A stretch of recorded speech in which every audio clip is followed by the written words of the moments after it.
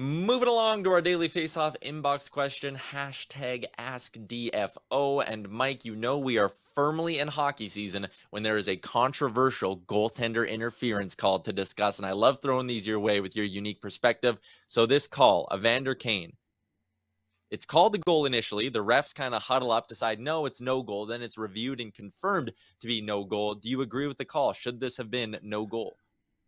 I don't agree with the call. You know, just when I think I've got a good grasp on what's taking place for goalie interference in the NHL, I lose it again.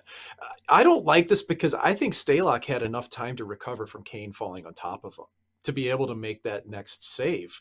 And, you'll see when the puck goes to the point, Stalock really is he's up and ready for this shot. He may not have a stick, but he's recovered to his edges and he's got a chance to make that save on Kane. So I'm very surprised that this ended up being called a goal because typically the interference is going to happen on an initial shot. And then if the goalie can't recover in time, that's when you may be able to go back and take one away. I thought Stalock didn't have a lot of urgency to get up here either. I still think he should win the Masterton, but I think he needed to get up here in a hurry to be ready for that next shot. So I was very surprised by it, Tyler. Yeah, I kind of was too. Just again, there's an overhead view of it too, which we which we don't have. But Kane was outside of the blue paint, was pushed into mm-hmm. the blue paint, and I do think there was a bit of a sell job from Kane to fall a little harder into the goalie. But then, like you said, seems like there was almost a bit of a sell job from Stalock to go. Ah, I'm going to. Yeah, I think it went both time. ways. Yeah, yeah, so and that's why again, after the ref initially pointed it in, I kind of thought eh, that's a tough one to overturn.